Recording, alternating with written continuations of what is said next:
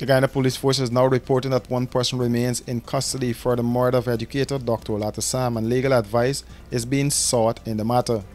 Commander of Regional Division 4C, Khali Pareshram, told his newscast that a total of three persons were arrested for questioning for the offense. He noted that the men were all swapped for gunpowder residue. Two of the men arrested were released. He expects the file to be completed and sent to the Director of Public Prosecutions for legal advice before the end of the week.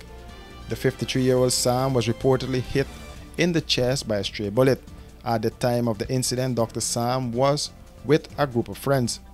One of his friends told reporters that a fight broke out between two men on the opposite side of the road when they heard what appeared to be two gunshots. Dr. Sam was rushed to the Georgetown Public Hospital where he was pronounced dead on arrival.